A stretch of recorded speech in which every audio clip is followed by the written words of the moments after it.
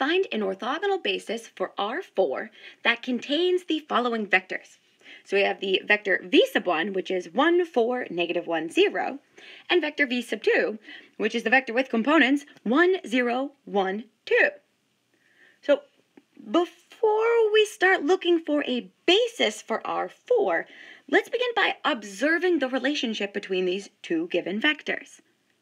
So let's recall that we know that two vectors are orthogonal to each other if their dot product is 0. So taking the dot product of our given vectors, we have vector v sub 1 dotted with vector v sub 2. So vector v sub 1 is the vector with components 1, 4, negative 1, 0. And we are dotting this with the vector with components 1, 0, 1, 2. So computing this dot product, we have 1 plus 0 minus 1 plus 0, which equals 0. Woohoo! So this allows us to conclude that vector v sub 1 and vector v sub 2 form an orthogonal set of vectors, which implies that vector v sub 1 and vector v sub 2 are linearly independent.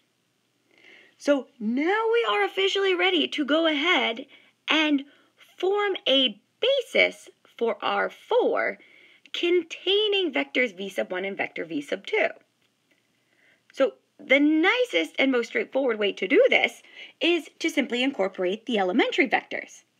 So we can say that a basis for R4 is the set of vectors, vector v sub 1, vector v sub 2, vector x sub 3, and vector x sub 4, where vector x sub 3 is the elementary vector 0, 0, 1, 0, and vector x sub 4 is the vector with components 0, 0, 0, 1.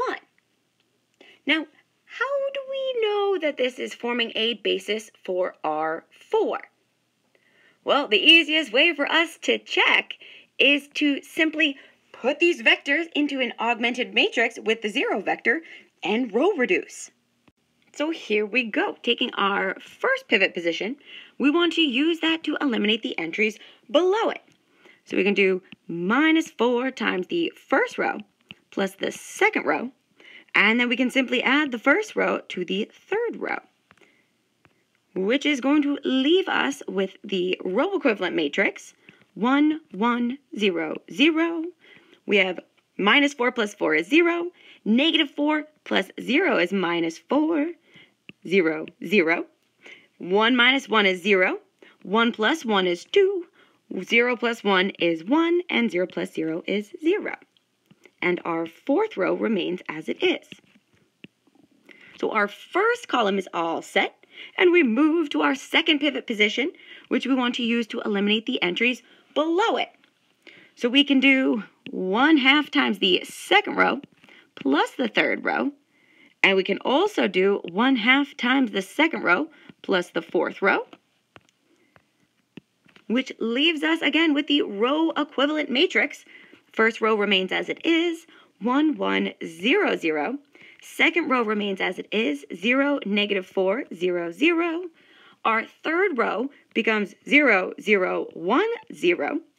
And the fourth row becomes 0, 0, 0, 1. And would you look at this? We've attained echelon form. So we can see that therefore matrix A is a 4 by 4 matrix with a basic variable in each column, or in other words, four pivot columns, which is logically equivalent to saying that the columns of matrix A span R4, which is logically equivalent to saying that the columns of matrix A are linearly independent, which allows us to officially conclude that the set of vectors v sub 1, v sub 2, x sub 3, and x sub 4 is in fact a basis for R4. So now that we officially have this basis for R4, we're now ready to go ahead and apply the Gram-Schmidt process to orthogonalize this basis. So again, taking our basis for R4, we are now officially ready to apply the Gram-Schmidt process to orthogonalize this basis. Now, what's really nice is that since we already know that vector v sub 1 and vector v sub 2 are orthogonal, this allows us to immediately start with vector x sub 3. So by the Gram-Schmidt process, we know that the next vector in this orthogonal basis, vector v sub 3, is going to be equal to vector x sub 3 minus the projection of vector x sub 3 onto vector v sub 1 minus the projection of vector x sub 3 onto vector v sub 2. So here we go. Let's find this vector v sub 3. So we have the given vector x sub 3 with the components 0, 0, 1, 0. And we want to compute all these dot products. So this is minus, and we have the dot product in the numerator leaves us with 0 plus 0 minus 1 plus 0, and that's all divided by 1 plus 16 plus 1 plus 0 multiplied by vector v sub 1 minus, so the dot product in the numerator of the second projection is 0 plus 0 plus 1 plus 0, all divided by 1 plus 0 plus 1 plus 4. And this is multiplied by vector v sub 2. So looking at simplifying these dot products, for the first projection we have negative 1 by 18, and the second projection, projection we have 1 by 6. So this is equal to our original vector x sub 3, 0, 0, 1, 0, minus a minus 1 by 18, so that's going to be plus 1 over 18, and then substituting in the given vector v sub 1, we have 1, 4, negative 1, 0, and this will be minus the scalar multiple 1 sixth multiplied by vector v sub 2, which is the vector with components 1, 0, 1, 2. So distributing these scalar multiples, this is leaving us with the vector v x sub 3, 0, 0, 1, 0, plus, so distributing 1 18th, we have the vector with components 1 by 18, 2 by 9, negative 1 by 18, 0, plus distributing that scalar multiple of negative 1 sixth through, we have minus 1 sixth, 0, minus 1 sixth, and then minus 1 third.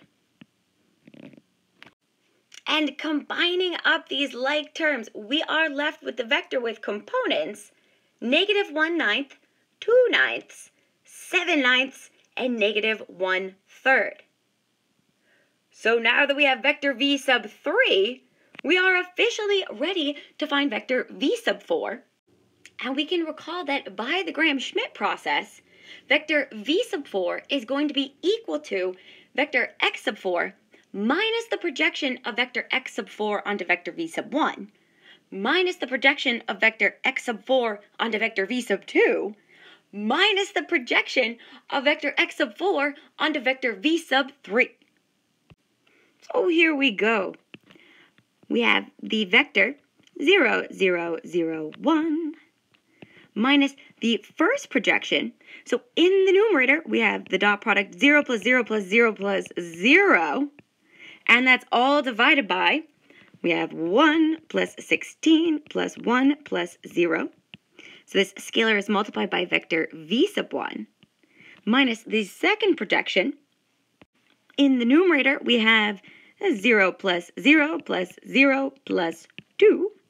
And this is all divided by 1 plus 0 plus 1 plus 4 multiplied by the vector v sub 2 minus, so we have our third projection. So in the numerator, our dot product produces 0 plus 0 minus 1 third, and this is all divided by, we have 1 by 81 plus 4 by 81 plus 49 by 81 plus 1 ninth, and that's multiplied by vector v sub 3.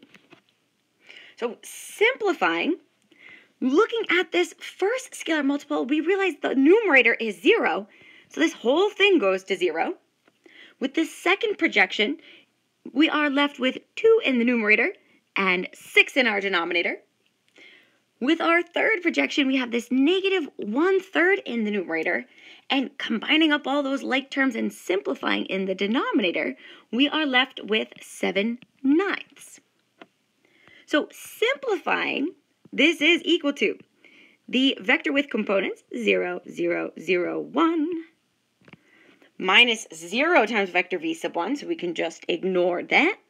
We then have negative 1 third multiplied by vector v sub 2, which is the vector with components 1, 0, 1, 2.